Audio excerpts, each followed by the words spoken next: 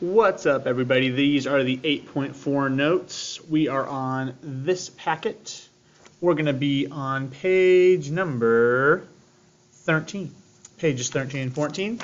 Today's learning target is you are going to be able to find angles of elevation and depression we're going to talk about what those mean. Using trig functions. So we're still using trig functions. We're still using the same knowledge we learned in 8.1 through 8.3, but now we're going to apply it to some real world scenarios. So let's hop right in.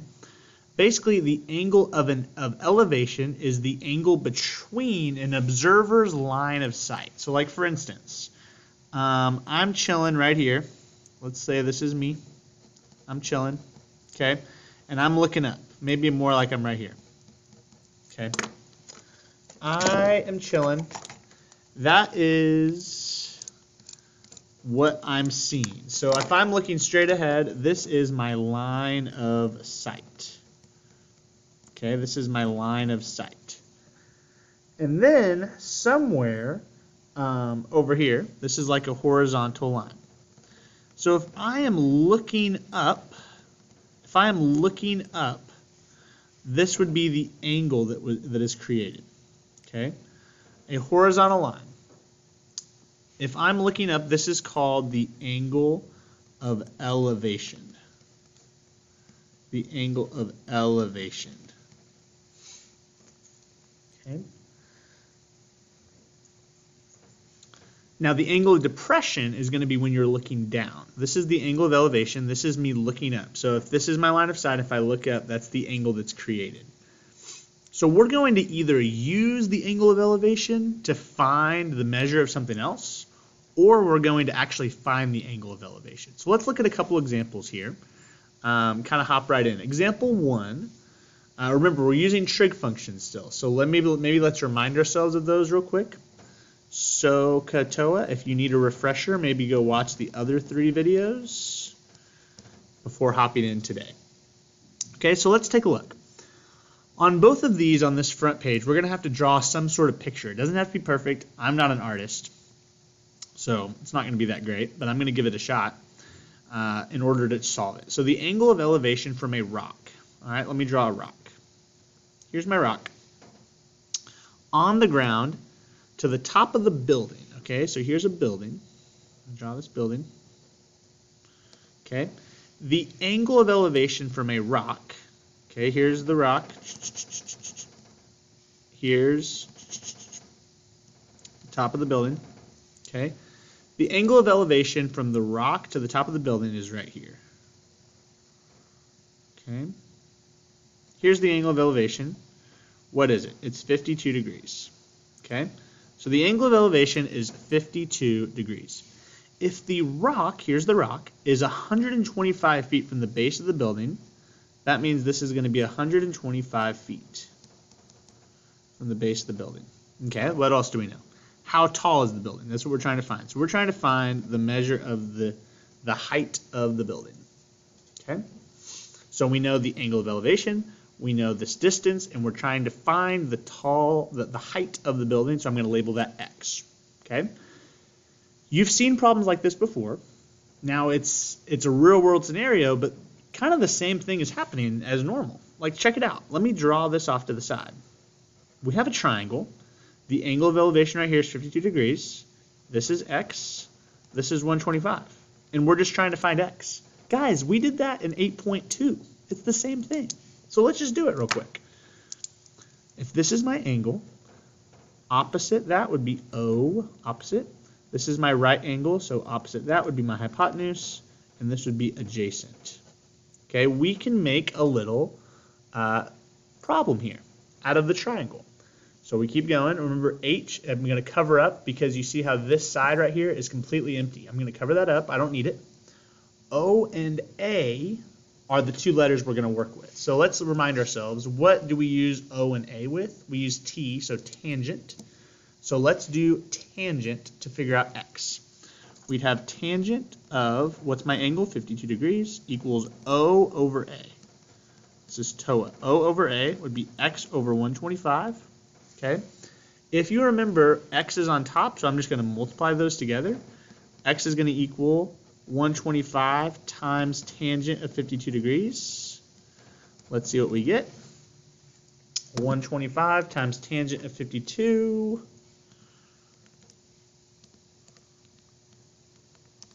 is 159.993. Okay, we're going to reduce that. Let's do the nearest tenth.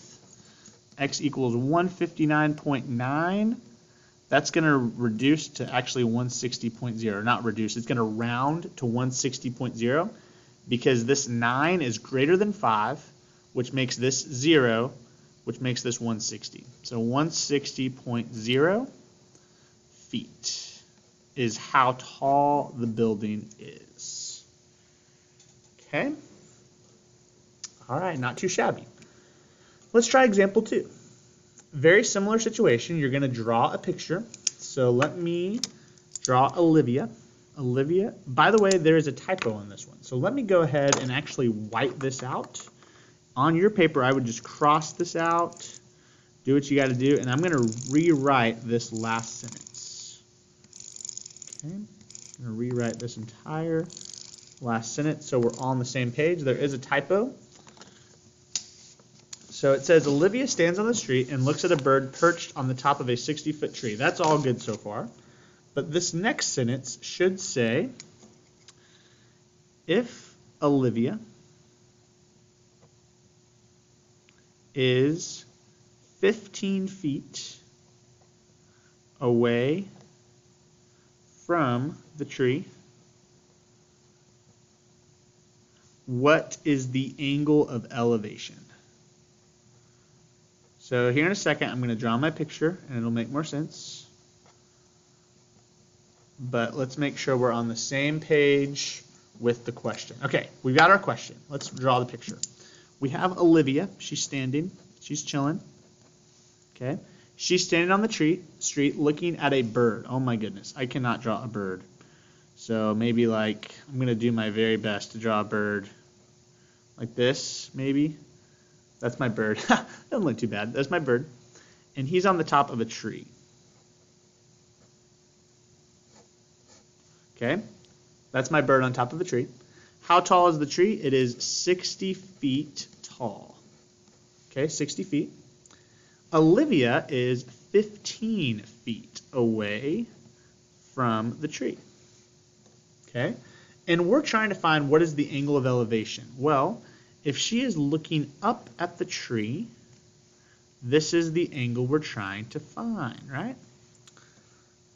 Okay, so we know that the tree is 60 feet tall. We know she's 15 feet away from the tree, and we're trying to find this angle. All right, let's make a let's make a triangle over here, just so we're on the same page. We have 60 feet, we have 15, and we're trying to find x. Guys, you can do this. Let's figure it out. Same thing, we're trying to find an angle now. This is going to feel like 8.3, okay? Across from the angle, this is our angle, we have O. Across from the right angle is H, and this is A. Hopefully you feel good about labeling that. All right, now that we have this, we're going to ask ourselves, okay, which one are we going to use? H is useless again. So we have O and A, which is TOA, tangent. Tangent of x, which is my angle, equals O over A. So 60 over 15. Okay. Now here we have a situation where we're looking for the angle measure. We can't put tan of x in the calculator. So hopefully you remember from 8.3, when we have this situation, here's what happens. This becomes x equals the inverse tangent of 60 over 15. Okay, hopefully you remember that from 8.3. When you have a variable next to the trig function, you're going to end up doing the inverse tangent. Okay, so let's do that real quick. I would have trig inverse tangent of 60 over 15 I'm going to get 75.9638. Let's simplify that. 9 is the number, so this is actually going to do, this is the 6 is going to make this a 0, which makes this a 76.0. So x equals 76.0 degrees. So Olivia is looking up at the bird at an angle of 76.0 degrees. That's pretty intense, but that's what she's doing. Okay, it's pretty, she's really craning her neck. 76.0. Okay, let's talk about angle of depression. So this is the next page. This is page number uh, 14. Page number 14. Angle of depression, very similar. This is an angle between an observer's line of sight. This is the line of sight now. This is the line of sight. So if I'm a man chilling up here and I'm looking down at a hor and this is the horizontal line. Okay. The angle of depression is this angle. Okay. Now, something that you got to learn now is if this is the angle of depression and this is the angle of elevation, those are actually going to be the same measure. Okay, that might come up in your practice a few times. So when you have an angle of depression and angle of elevation, these are going to be the same measure. And if you remember, the reason we know that is they are alternate interior angles. Right? You can probably tell that those are alternate interior angles. So anytime they give us the angle of depression, we can also find the angle of elevation. Okay, that's what it said, congruent to the angle of elevation. So we'll talk about that a little bit more detail in one of our problems. So let's look at example three. We got two more. We have a skateboard ramp. This one, they gave us the picture. The skateboard ramp is 25 feet long with a vertical drop of 20 feet. All right, so let's kind of make a picture out of this then. If we know, we're trying to find the angle of depression, this angle, okay? This angle is creating a triangle right here with not a lot of information. So, but here's what we do know.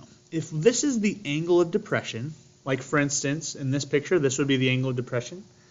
If this is the angle of depression, we know that this angle is actually going to be equal to the angle of elevation right here. Okay? So we can actually find this angle, and that would that would be the same thing as this angle. So we're going to actually try to find this one and go from there. Okay, so in this picture, we could have a triangle. Okay, the height would be 20 feet. We could put it right there. That would be a right angle. This would be 20 feet. The length would be 25, and we would be trying to find this angle right here. Okay, guys, we can do this. Not a big deal. So now that we have our triangle, this is the height, this is the, uh, the length, this is the angle. This would be O, hypotenuse, adjacent. Okay, what do we know? We have tangent, so TOA. This would be tangent of x equals 20 over 25. We have a situation where we're trying to find an angle, so we're going to have to do inverse tangent. x equals tan negative 1, that's inverse tangent, 20 over 25. Let's see what we get when we do that. Inverse tangent, 20 over 25, 38.6598. That would become x equals 38.7 because 5 or greater. So x equals 38.7 degrees. Okay? So what I'm saying, guys, is because this angle right here is 38.7 degrees, this other angle that we were actually trying to find is also 38.7 degrees. Okay, so this is where it comes in handy, where you need to actually use the angle of depression to find the angle of elevation and then go back. Okay, let's try example four. This one's a little bit less tricky. Okay, at the top of a 100 foot tall building, let's draw that on top of a 100 foot tall building, 100 feet. Nathan watches the start of a parade at an angle of depression of 65 degrees. All right, so Nathan's chilling down here. He's chilling. He is looking at the parade at an angle of 65 degrees. Whoops, my bad. He is not down there, is he? He is at the top of the building. He's chilling up here. He's at the top.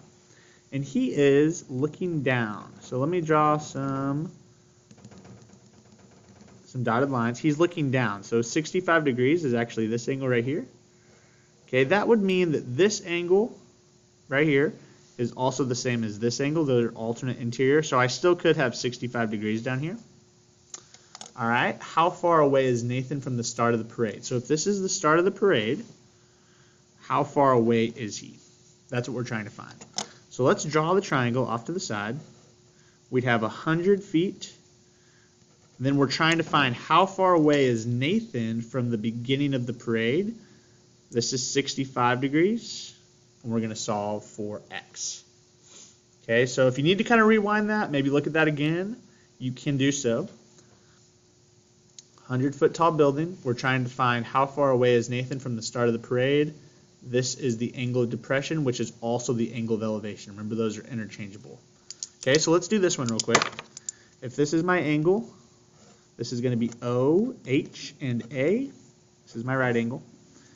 Um, H doesn't isn't used, so we'd have tangent of 65 degrees equals O over A. So 100 over X.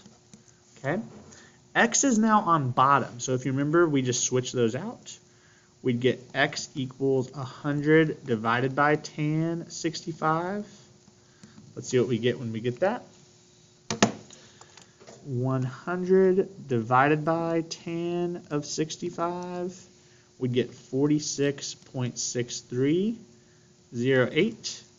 So how far is he from the start of the parade? He is about 46.6 feet away. Okay? So this would be 46.6 feet from the building to the beginning of the parade. All right, that's about it. Uh, looks like we used a lot of tangents there, but in your practice, you'll use different types. Uh, you're going to do pages 15 through 17, so it's kind of a lot, but you totally got this. Hope you have a great day.